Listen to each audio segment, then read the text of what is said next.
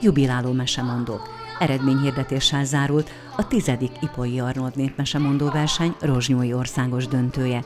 Mozgalommá fejlődött a verseny.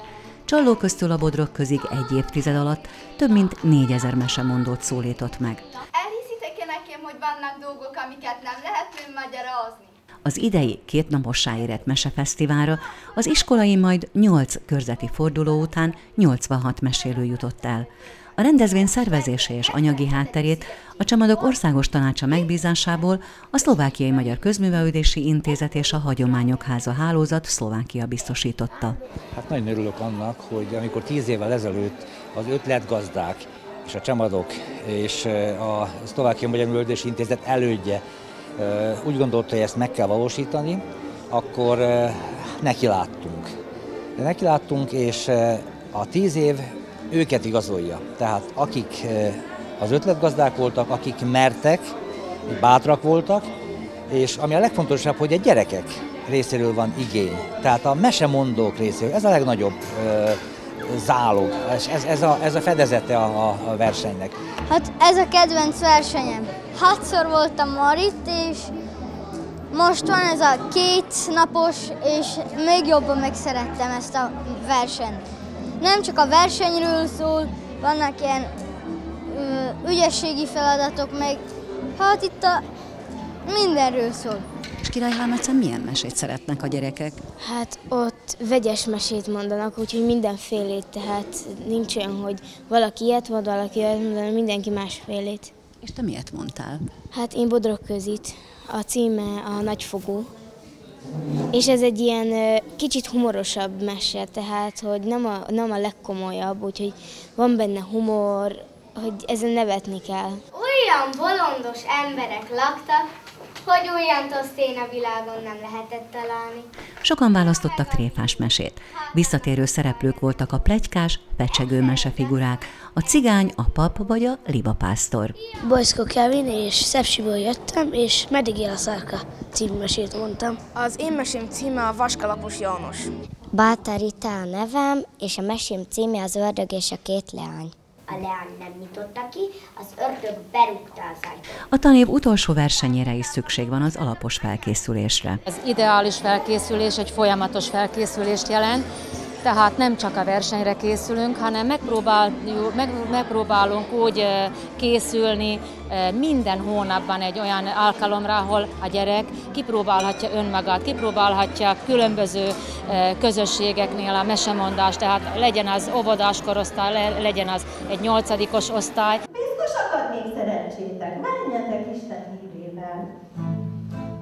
A rendezvények palettáján ételkóstoló, daltanulás, népi játékok, játszóház, táncház, koncertek, bemutatók kavalkádja szerepelt.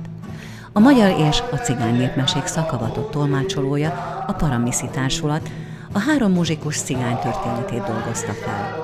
Népi hagyományokon alapuló játékaik személyiség és a mozgásfejlesztés segítik. Népmesék nem csak a gyermekhallgatóságot célozták meg. Este a felnőtteknek szóltak pajzán változatai. Hát azért lássuk be, hogy alapvetően a népmesék azok felnőtteknek szóltak a régi világban, tehát ugye felnőttek meséltek felnőtteknek, úgyhogy azért nincs olyan nagyon nagy újdonság a nap alatt, mert a gyerekek azok esetleg beosonhattak. De hát azért lássuk be, azért a régi világban nevén nevezték a gyereket, meg hát a felnőttek között azért egy egészen más nyelvezet is van.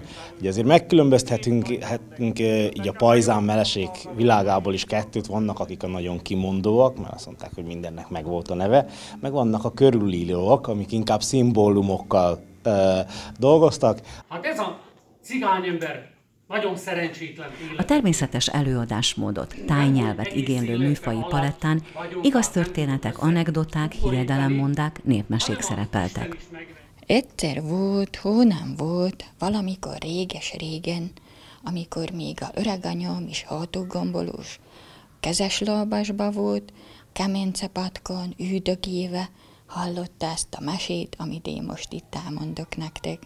Honnan gyűjtötte ezt a mesét? De ezt még a nagymamától hallottam, és ő is mondta, hogy a régi öregektől hallotta.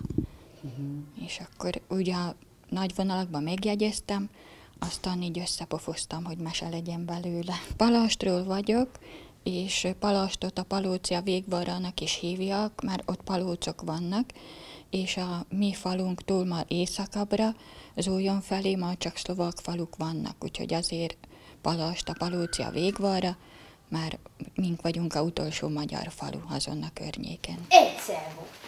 Hunnan volt? Az Óperenciás tenger 77. szigetjének partján. Mesemondói stílust és előadói egyéniséget értékelt a zsűri.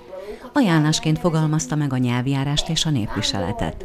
Mesét keresni, apja mi használnak szinte. Viszonylagosan egységes gondolkodású a zsűri, tehát elég egyértelmű volt számunkra ez a három sáv úgymond megalkotása.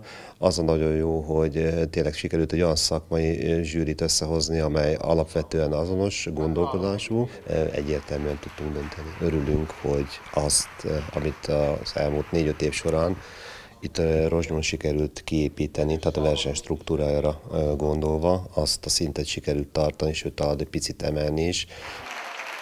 A hiteles mesebondó díját a második kategóriában versenyző Carvárió Vittorio kapta. Carvárió Vittoriónak. Danko Gábor. Kiemelt külön díj a harmadik kategória versenyzőjének, Danko Gábornak és Pongrácz Pál Barnabásnak jutott. A felnőtt kategória két versenyzője, Oszoli Valéria és Demko András szintén külön díjasok lettek.